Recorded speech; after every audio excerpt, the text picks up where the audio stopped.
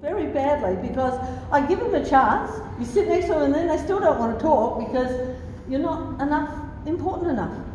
All right, understand this happens to people, and if you're with a team, if you, I've seen trainers and coaches only work with the top 22. If you're number 40, no one actually talks to you on the list. This happens, and they get miserable. Um, get to know them as people. Do not be a fanboy or fangirl. I hate it when you, if any anyone I work with, the team loses and they're like, yeah, it's not your job. There's enough narky. Your job is to help people get ready for next week again. Make them feel like, oh, yeah, it wasn't a great day, but we're going to be right next week. I'm going to give you this rub. When I give you this rub, you are going to be sensational. Oh, your legs are feeling really like they're going to run really well today.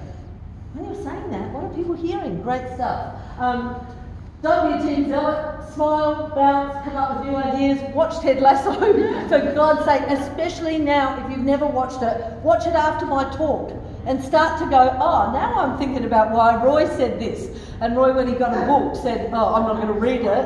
And then afterwards goes, that's me. All right? You're going to start to go, oh, Roy realised sometimes you do need to do things you're uncomfortable with, like read to be good or find out new information. Um, Get yourself an expert mentor to help with harder cases, treat other professionals with respect, understand psychology of recovering quickly, and coach behaviour has the hugest effect on every. So now, every team you're with, the really good thing is Mark's been away with soccer, and we often have a conversation because he gets to see all the away coaches.